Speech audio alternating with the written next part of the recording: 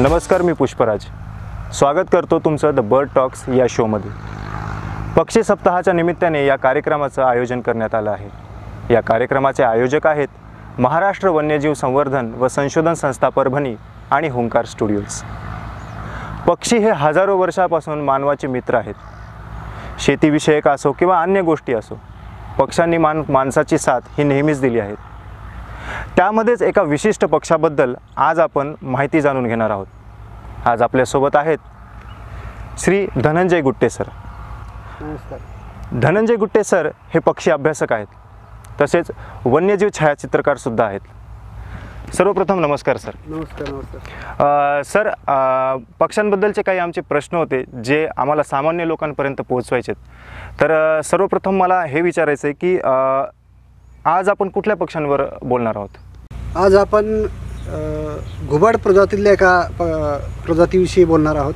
त्याची त्याचं नाव इंग्रजीमध्ये आहे जंगल आवलेट अर्थातच मराठीमध्ये जंगली पिंगळा असं पण त्याला म्हणतात सायंटिफिक लँग्वेजमध्ये जर सांगायचं झालं तर ग्लॅसिडियम रेडिएटियम असं नाव आहे. या पक्षाविषयी आपण आज जाणून घेणार आहोत. सर या पक्षाचा जास्त अधिवास कुठं आढळतो आपल्याला? प्रामुख्यानं हा जो पक्षी आहे घुबड प्रजातीतला असल्यामुळं. झाडांमध्ये शक्यतो हा आढळून येतो.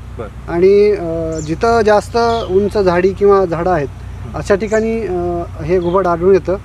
त्यानंतर विदर्भातल्या काही जंगलं आहेत त्या ठिकाणी पण बऱ्याच हे प्रजाती आढळून येते. त्यानंतर जो आपला सह्याद्रीचा भाग आहे त्या पण भागामध्ये हा घुबड आढळून येतो. आणि सध्या मराठवाड्यामध्ये पण याचा अधिवास बऱ्यापैकी आहे. फक्त एवढंच आहे की तिथं बऱ्याच जणांनी त्याच्याविषयी संशोधन केलेलं नाही किंवा त्याला पाहिलेलं नाही. परंतु याचा पण अधिवास मराठवाड्यात आहे. बरं सर. सर हा शिकारी पक्षी आहे का? आणि हा खाद्यामध्ये कुठले अन्न खातो. किंवा याचं खाद्य काय? हो, हो. जंगली जंगल आवलेट हा शिकारी पक्षीचा आहे. तो शिकार करून खातो. पूर्णतः मांसाहारी आहे. आणि छोटे छोटे कीटक असतील उंदीर असतील लहान सहान पक्षी असतील सरपटणारे काही प्राणी असतील तर यांना खाऊन तो आपली उदरनिर्वाह भागवत असतो. म्हणजे शेतीच्या अवतीभोवती असतो आणि याचा जो अधिवास आहे तो प्रामुख्यानं नदी नाले तलाव असतील.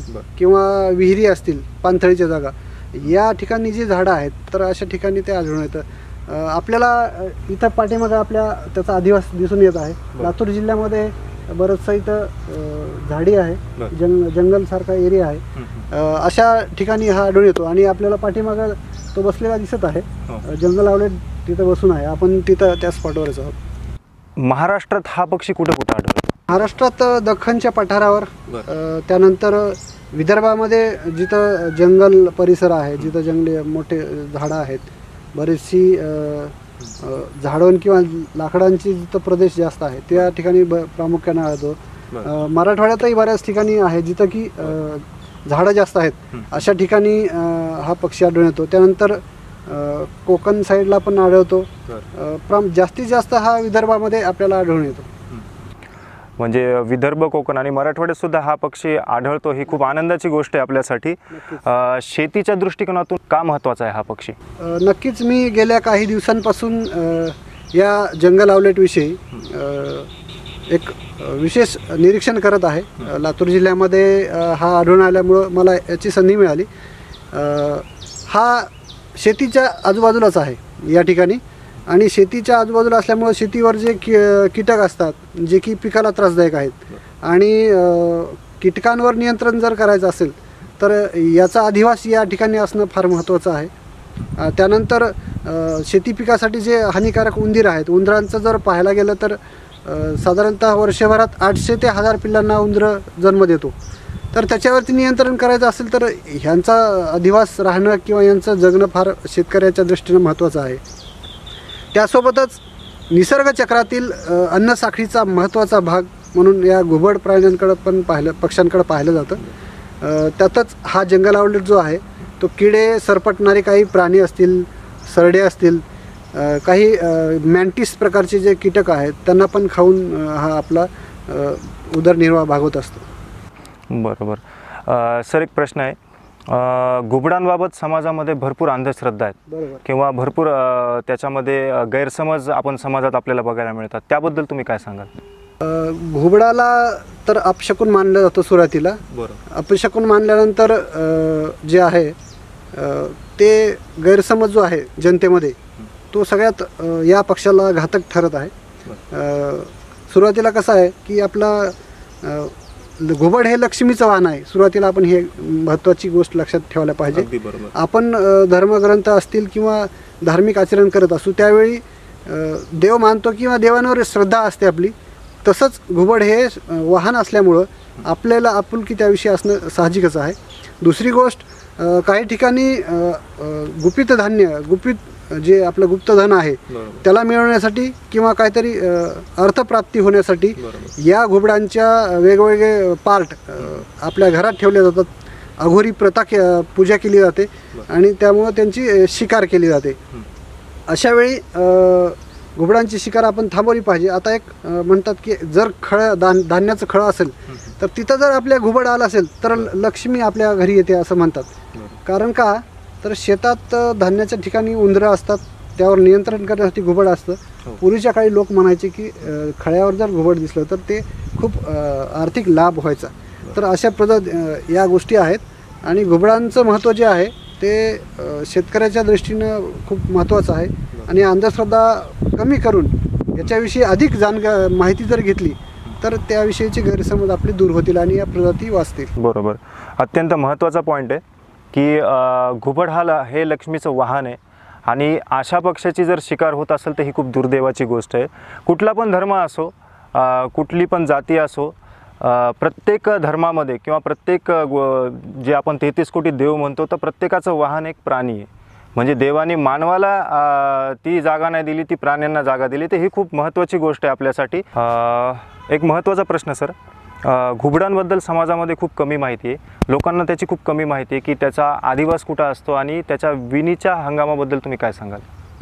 घुबडाचा विशेषतः जंगल आवलेटचा अधिवास हा एखाद्या सुतार पक्ष्यांनी घरट के केलेला असेल बु- झाडाला छिद्र असेल त्या ठिकाणी किंवा झाडाच्या बुंद्यामध्ये ढोलीमध्ये हा पक्षी घरट करतो.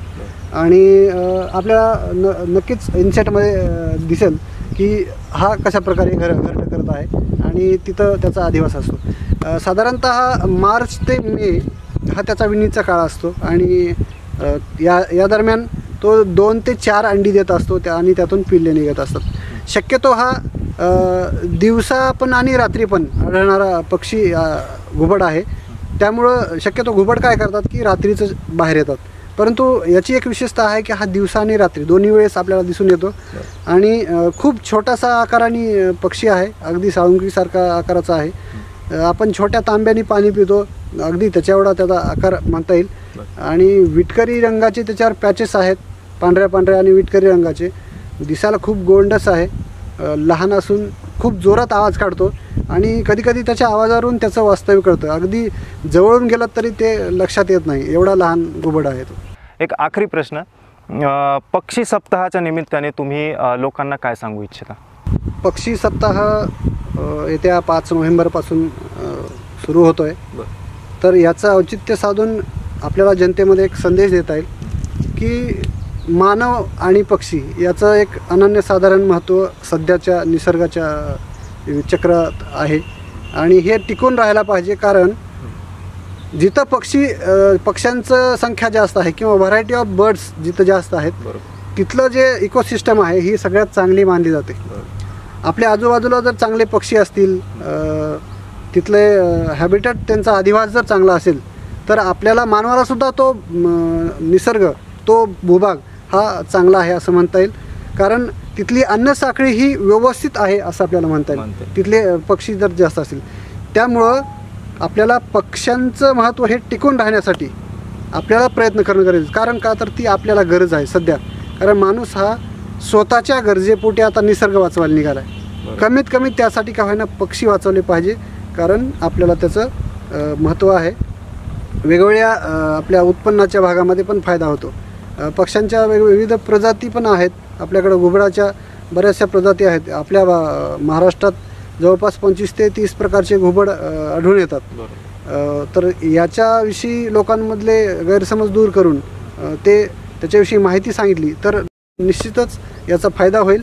आणि जिथं जिथं आता वेळ तलाव आहेत की जिथं मोठे ग्रासलँड आहेत अशा ठिका ठिकाणी पण पक्षी येतात मायग्रेशन करून येतात. तर आमची एक इच्छा आहे की जिथं जिथं तलाव आहेत त्या त्या ठिकाणी एक एकतरी पक्षी मित्र तयार व्हावा. जेणेकरून त्या भागात त्याविषयीची माहिती जास्तीत जास्त लोकांपर्यंत जाईल आणि त्याचा फायदा नक्कीच आपल्याला होईल.